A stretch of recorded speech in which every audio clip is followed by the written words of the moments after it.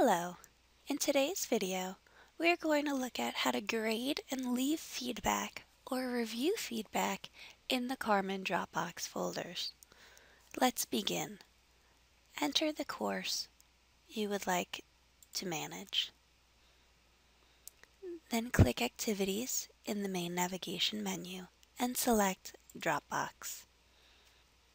From the Dropbox Folders page, open the folder you would like to leave or review feedback for. I'm going to click Hide Search Options simply to close up that area and get more space on the page.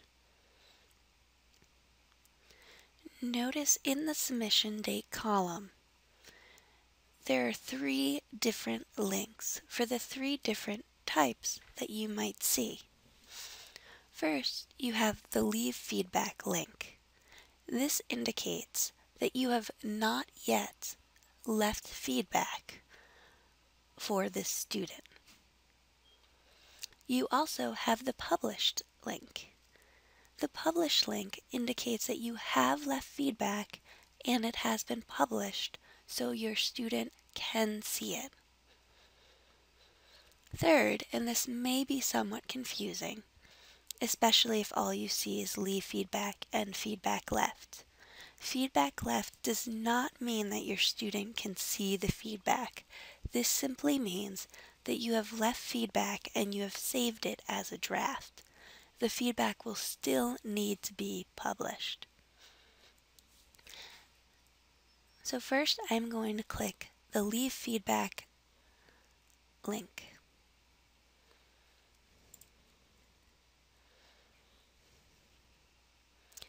This opens the Leave Feedback area where you can view files within Carmen, assign points for the score if your folder is associated with a gradebook item, and leave your written feedback. From this page, you can also move on to a different student submission page and leave feedback there, as well as save your feedback as a draft. Again, note if you save it as a draft, you will see the feedback left link from the previous page. If you have enabled Originality Check, you will also note that the Originality Report number and color box will appear in the Leave Feedback area. To view the Originality Report, which will be shown in a different video, Simply click this colored box and you will be taken to the report. You can then enter your point score from the originality report area. If you decide to do so, you can click use this score and note the score will transfer to the evaluation section.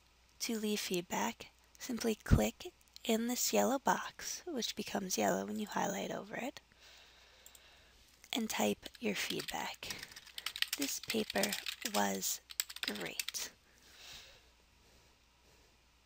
You can then click Save Draft or Publish if you would like to have it published. If you want to make comments directly in the student submissions, you can download the files, make your comments, and then attach them. Click the Download All Files button to download the files. You can then click Add a File to upload the file with comments. Now that this is saved, I am going to move on to the previous student. There is no next student. So I will go to the previous student who had feedback already left. Notice when feedback is published, you now have an update and retract button.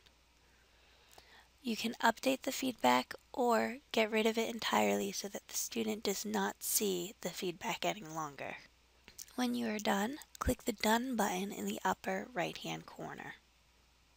You can publish all student feedback by clicking the checkbox next to their name or the checkbox next to the down area to publish all feedback and click the Publish Feedback link. This is a quick way if you want to save all feedback as a draft and then publish all student feedback at one time. This concludes today's video. Thank you for watching.